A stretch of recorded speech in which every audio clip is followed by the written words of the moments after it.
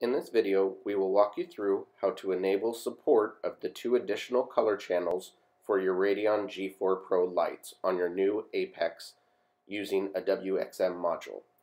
First, you will need to make sure that you have the latest AOS on your new Apex.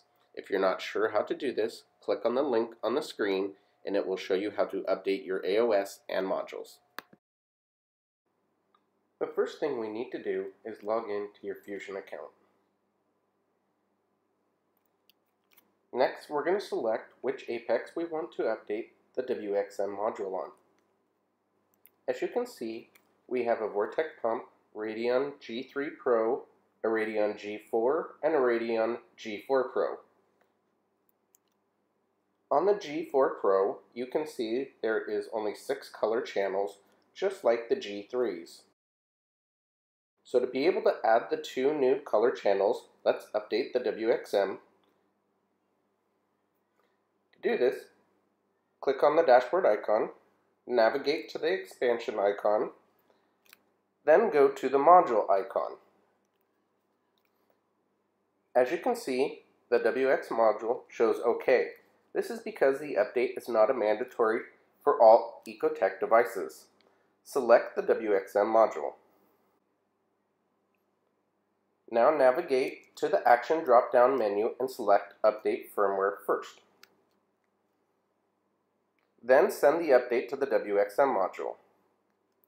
You will see a pop-up during this process. This update takes about one minute.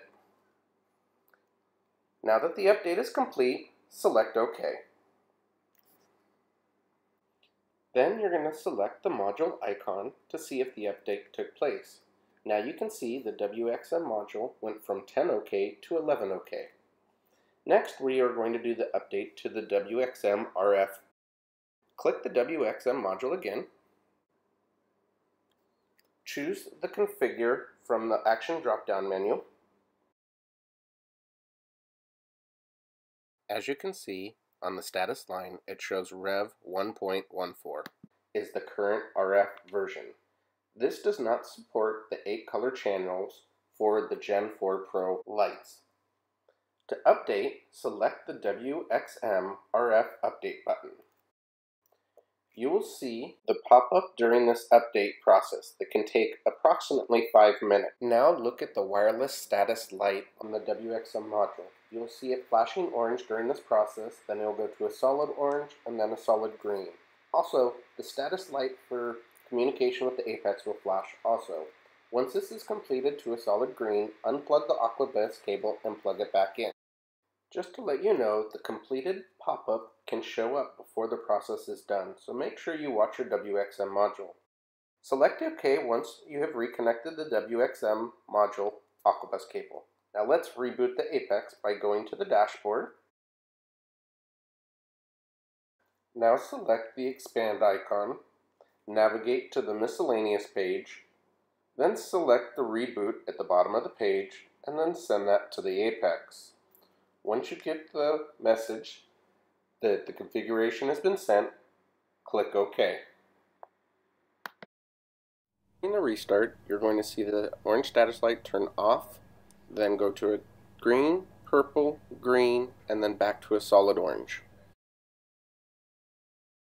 Now that the Apex has rebooted, let's check to see if the update took place with the WXM module. Go to the dashboard, then select the expand icon. Now navigate over to the module icon, click on the WXM module, then click configure from the drop down action menu. Now you can see that the status shows 1.15 instead of the 1.14 and that the pumps and lights all say OK. Let's navigate to the dashboard to see if the Gen 4 Pro now has 8 color channels. To do this, select on the gear icon next to the Radion G4 Pro, and as you scroll down to the bottom, you can see that there's two new colors, a warm white and a violet. You can now adjust these two colors to your current programming by sliding the bars up and down to the desired color that you want and intensity. Once you have that selected, now save that to your WXM module.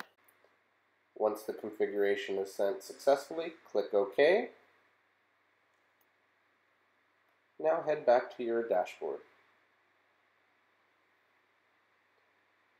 Your WXM and RF modules have been updated successfully for Gen 4 colors.